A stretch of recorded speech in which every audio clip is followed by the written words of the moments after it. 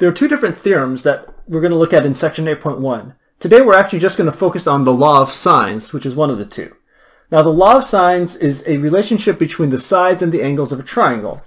And so what we're going to do is we're just going to draw a generic triangle. Remember, an oblique triangle, not necessarily a right triangle. We'll label the sides alpha, beta, gamma, and then we'll label, or the angles alpha, beta, gamma, and we'll label the sides A, B, and C. And so the relationship we have is that the sine of alpha over A is equal to the sine of beta over B, which is equal to the sine of gamma over C. So this is it. That's the formula. Now, of course, the question is, well, where does that formula come from? Well, the idea to get the formula is that we're going to take our triangle, we're actually going to break it into two right triangles.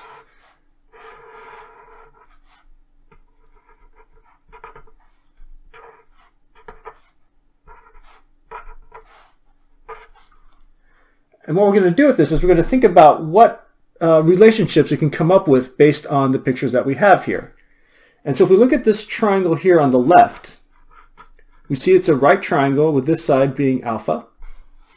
And if I just label this one right here h, we see that sine of alpha, remember sine is opposite over hypotenuse, so h over b.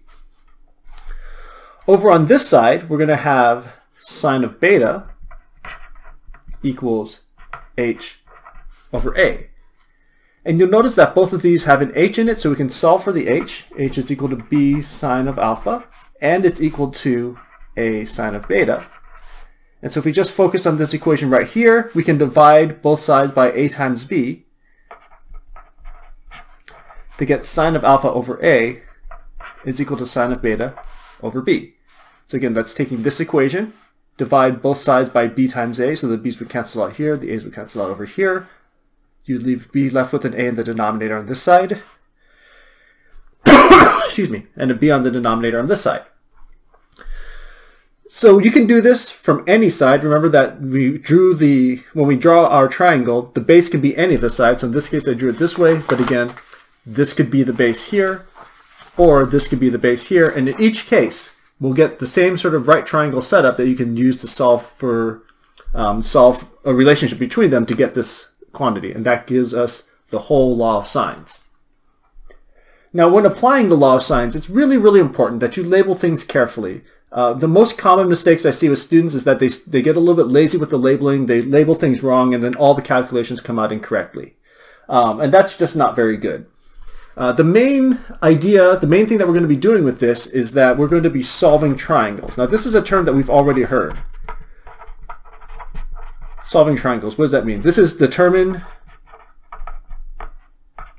determine the angles and side lengths of a triangle. Side lengths of a triangle.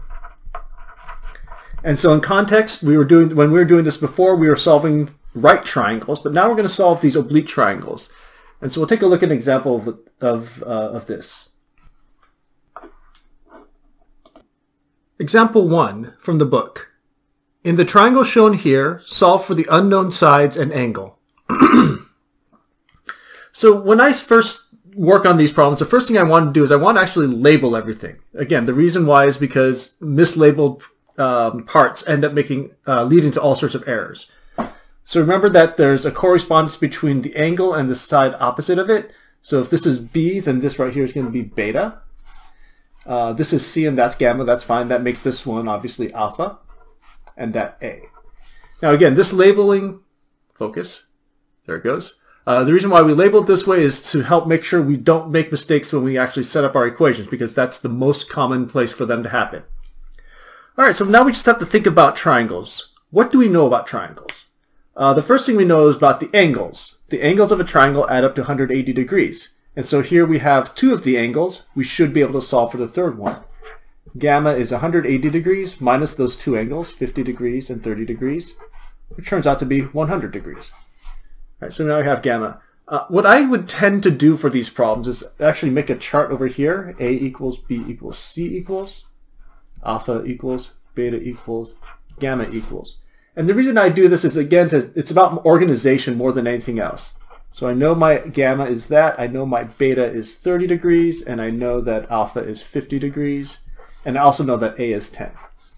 Uh, this is, just just lets me know what things, what information I have and what I still need to solve for.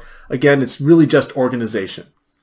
So that gives me this. Now, here you can see I still need to find B and C, and so how are we going to do that? Well, we're going to use the law of sines. I'll write down the law of sines over here again. Sine of alpha over A equals sine of beta over B equals sine of gamma over C.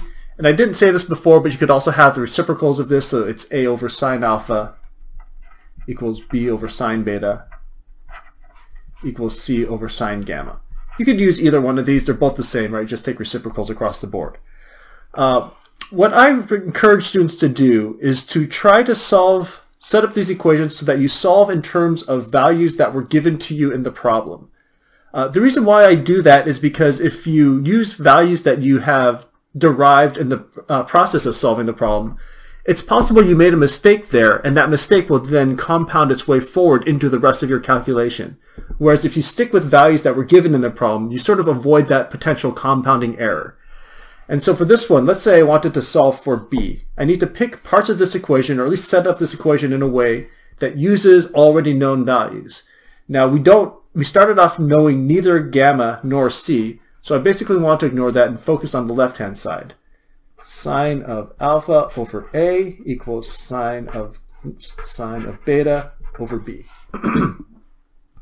and now I can start plugging in my values. So sine of 50 degrees over 10 is equal to sine of 30 degrees over b. Solve for b, I multiply uh, both sides by b. Actually, we can do cross multiply. 10 sine 30 degrees. Uh, I'll write it out this first time, but I'm going to trust that you have uh, a confident, uh, that you're confident enough in your algebra to be able to follow along with this. But basically what we can do with this is you get cross multiply b sine 50 degrees is equal to 10 sine 30 degrees.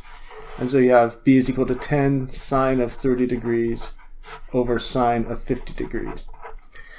Now I'm going to leave it like this for now. I'll go back later with the calculator and calculate it, but I want to focus on this algebra stuff. Again, calculator stuff, I'm going to trust that you can do it. If we wanted to find uh, C, okay, well in this case we have no choice. We have to use our derived value. It happens sometimes, but again, it's really about trying to avoid it where you can. Uh, but instead of using B and uh, beta, I'm going to use the uh, A and alpha and again, that's because A and alpha are both known values given to me from the problem. So sine of alpha over A is equal to sine of gamma over C.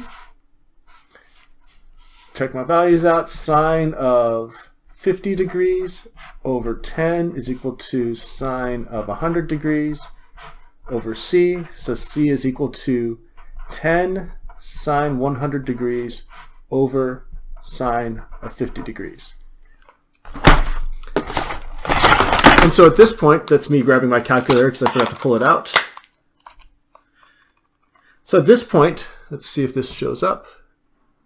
Yeah, it looks like it shows up. All right. So at this point, we just need to uh, do the do the calculation. 10 times sine of 30 divided by sine of 50 is equal to b is equal to 37.6 um, we'll do we'll do two decimals 0.66 over here c 10 times sine of 100 degrees divided by sine of 50 degrees is equal to 19.30 and so we have now solved for the triangle because we have all the sides and all the angles